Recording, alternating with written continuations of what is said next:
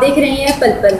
आज हम चुनाव के बारे में पूछने के लिए आए हैं महिला विश्वविद्यालय में। हमारे साथ महिला विश्वविद्यालय के प्रिंसिपल सर हैं।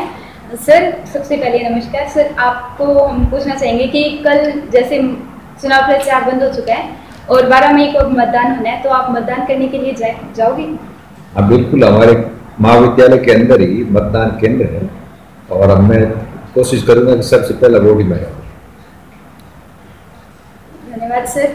सर, आप इस बार मतदान के लिए कौन सा मुद्दा आप सबसे आगे रखना चाहते हैं? कई मुद्दे हैं जिनको प्राथमिकता देना ज़रूरी सबसे पहले तो हमारे देश की सुरक्षा, जो हमारे देश के सैनिकों पे, वायुसेना पे थल सेना पे जल सेना पे और सुरक्षा कर्मियों पे देने तो मोदी जी ने उनको जो अपना काम अच्छी तरह से करने के लिए स्वायत्ता दी है, वो हमारा मुद्दा है और मोदी ही दे सकते हैं। या तो लाल बहादुर शास्त्री ने दिया था और या फिर मोदी जी।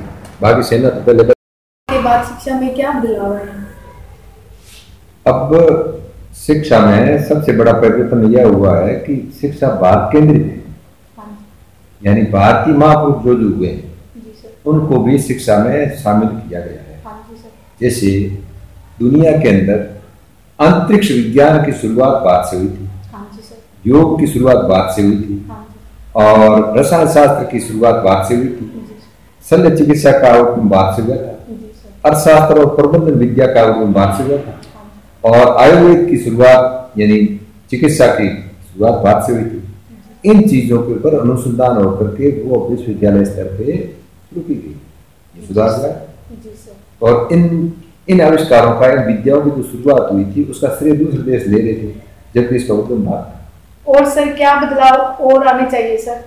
और बदलाव जो मोदी जी ने कहा है मोदी जी ने ऐसा नहीं है कि वो अपनी मनमुक्ति होकर बात कही है कई हाँ। विद्वानों को कई विशेषज्ञ थे उनको पूछ करके उनकी सलाह लेकर के उन्होंने काम किया। एक तो हमारे देश के अंदर जो किसान थे हाँ जो। खेती करते थे लोगों के लिए अन्न पैदा करते थे सब्ज़ियाँ पैदा करते थे उनकी आय कम थी। क्योंकि उन द्वारा जो भी अनाज पैदा किया जाता था उसके अंदर रसायन ज़्यादा से ज़्यादा डाला था। जी सर। कीटनाशक डाले जाते थे।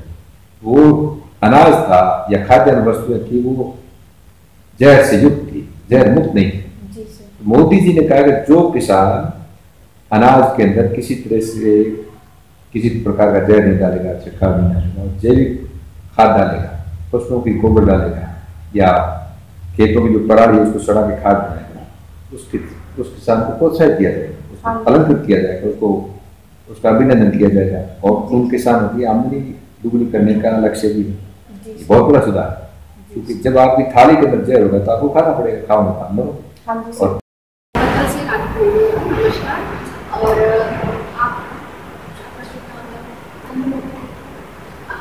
जैसे आप मतदान से हो रहा है तो आप कल मतलब वोट देने जाएँगे तो आपका क्या मेन मुद्दा रहेगा मुद्दा तो देखो वोट तो हमारा अधिकार है जिसे हम देने चाहेंगे हाँ मुद्दा बात ये है कि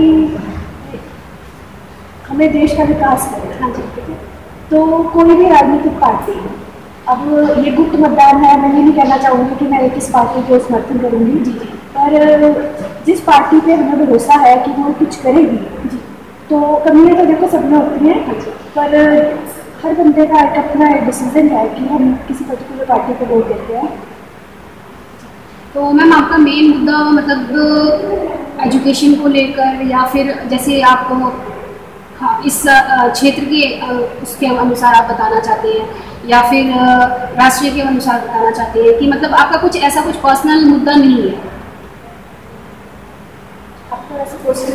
मुझे? मतलब आप एजुकेशन के लिए आप कुछ अपना ओपिनियन रखना चाहते हैं? नहीं देखो सरकार वही अच्छी है जो ओवरऑल हर क्षेत्र में देश का विकास करे। सरकार बेटर है। पर जैसे अभी पहले भी आपने पूछा कि क्षेत्रीय पार्टी को आप वोट देंगे कि नेशनल पार्टी को? देखो जहाँ तक है कि जो सेंटर में पार्टीज़ होती हैं राष्ट्रीय दल जो हमारे हैं फॉर एग्ज़ाम्पल कांग्रेस है बीजेपी है अगर हम सांसद के रूप में उनको चुनते हैं हमारे जो सांसद के लिए हमें वोट करना है तो उसी में हमें बेनिफिट है। जो रीजनल पार्टीज़ हैं वो अगर आएँगी तो सेंटर में वो उनकी नहीं चलती। तो केंद्र के चुनावों में हमें राष्ट्रीय पार्टी को देना मतलब हमारे लिए बेटर रहेगा और अगर स्टेट वाले भी अक्टूबर में होंगे तो चाहे हम नेशनल पार्टी को वोट दे दें। और क्योंकि क्या होता है, जब सेंट्रल और स्टेट में पार्टी सेम होती है तब उसी राज्य में ज़्यादा बेनिफिट होता है। जैसे अब प्रेजेंट में हरियाणा में बीजेपी है और केंद्र में भी बीजेपी है तो उन्हीं राज्यों को केंद्र से समर्थन मिलता है, जहाँ पर सेम पार्टी तो इसलिए ये तो है नहीं है कि केंद्र में सेंट्रल गवर्नमेंट में कोई रीजनल पार्टी आ जाएगी तो हम श्योर है नेशनल दल ही आएगा। तो इसलिए हमें नेशनल पार्टी को वोट करना चाहिए केंद्र सरकार।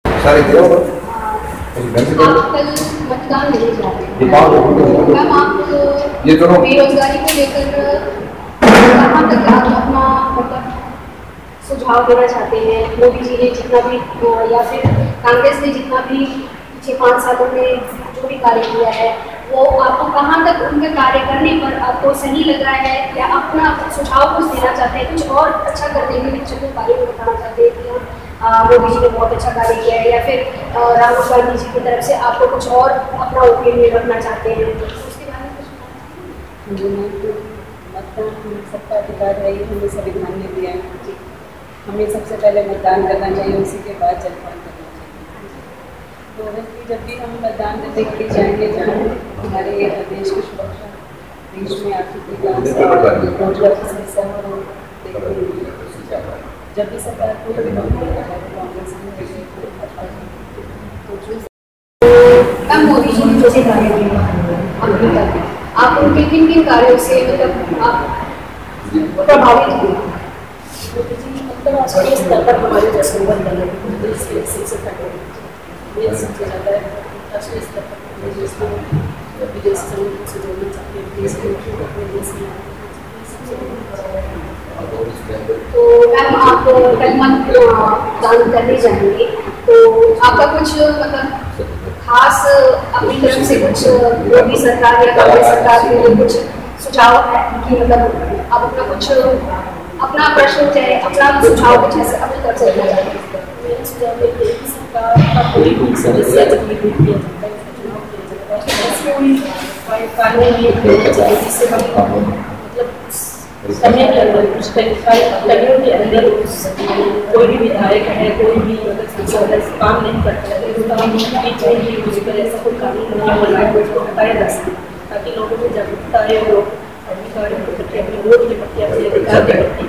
जागरूक हो। सबसे बड़ी बात ये है कि हम जागरूकता फैला रहे हैं जागरूकता गाँव में फैला रहे हैं। तो गाँव के लोग ऑलरेडी जागरूक हैं। ज़्यादातर जागरूकता फैलाने की साक्षर शिक्षित लोगों को जागरूक करने की ज़रूरत है। वो ज़्यादातर शिक्षित लोगों को अपने वोट का जो मतदान कुछ बेरोजगारी के बारे में बेरोजगारी की सबसे बड़ी बात यह है कि लोग की शिक्षा पर ना ये उसमें बहुत सारी कमी है।